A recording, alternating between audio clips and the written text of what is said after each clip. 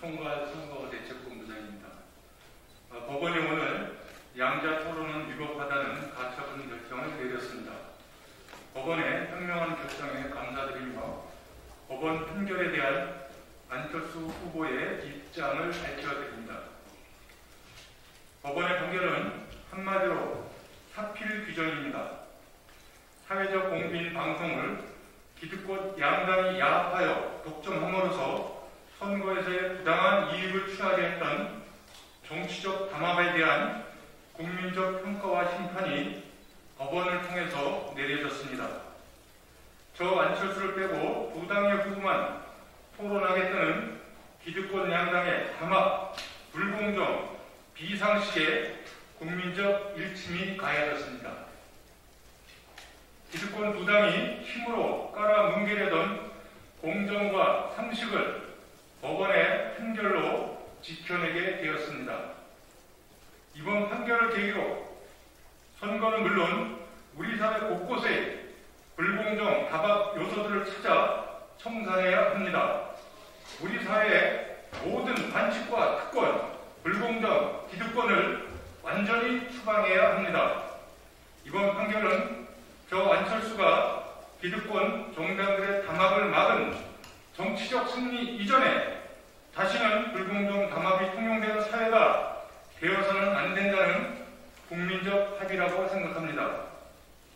오늘 법원의 정의로운 판결이 공정하고 정의로운 사회로 가는 희망의 이정표가 되기를 바라며 두 당의 다음과 같이 제안하고 요구합니다.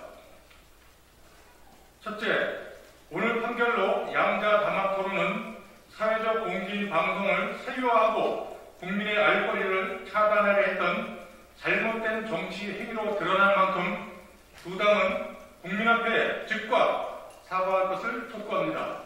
둘째, 대통령 후보로서 누가 국민 눈높이에 맞는 도덕성을 갖추고 있는지, 누가 격변하는 세계 흐름 속에 제대로 된 국가 비전과 전략, 정책 대안을 갖고 있는지를 가리는 사자 TV 토론을 즉시 추진할 것을 제안합니다. 대통령 후보들은 각자 어떤 나라를 만들 것인지, 무엇을 고치고 무엇을 바꿀 것인지, 어떻게 실현할 것인지 등을 포함한 자신의 비전과 구상을 서로 토론하며 국민들께 판단을 구할 의무가 있다고 생각합니다. 따라서 공직선거법, 공직선거법 규정과 기준에 의거한 저의 다자 토론 제안을 거부할 명분과 이유는 없다고 생각합니다.